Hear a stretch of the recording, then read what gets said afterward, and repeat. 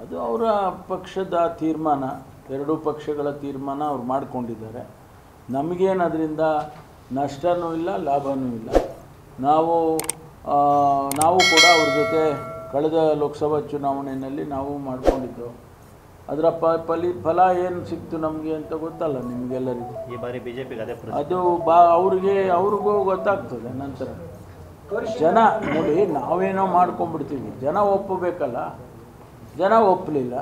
ಅದು ಇಡೀ ರಾಜ್ಯದಲ್ಲೇ ಅದರ ಎಫೆಕ್ಟು ನಮಗೆ ನಮ್ಮ ಪಕ್ಷಕ್ಕೆ ಆಯಿತು ನಿನ್ನೆ ಗೌರಿಶಂಕರ್ ಭೇಟಿ ಮಾಡಿ ಎಲ್ಲಿ? ಲಾಸ್ಟ್ ಮೈತ್ರಿ ಸಂದರ್ಭದಲ್ಲಿ ದೇವೇಗೌಡರು ಕಣ್ಣೀರು ಹಾಕ್ಸಿದ್ರು ಅನ್ನೋ ಒಂದು ಅಸಮಾಧಾನ.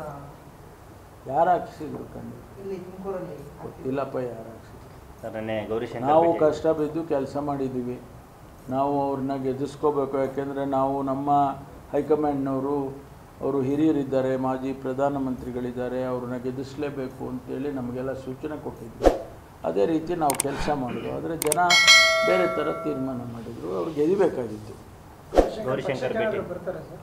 ಗೊತ್ತಿಲ್ಲ. ಭೇಟಿ ಮಾಡಿದ್ರು. ನನ್ನನ್ನು ಭೇಟಿ ಮಾಡಿದರು. ಒಂದು ಸೌಜನ್ಯದ ಭೇಟಿ. ಒಂದು ಹಾರ ತಂದಿದ್ದರು ಹಾರ ಹಾಕಿದರು. ಆಮೇಲೆ ಹಣ್ಣು ತಂದಿದ್ರು. ರಾಜಕೀಯವಾಗಿ ಚರ್ಚೆ ಮಾಡಲಿಲ್ಲ ಸರ್? ನಾವೇನು ರಾಜಕೀಯ ಮಾತಾಡಿದ್ವಿ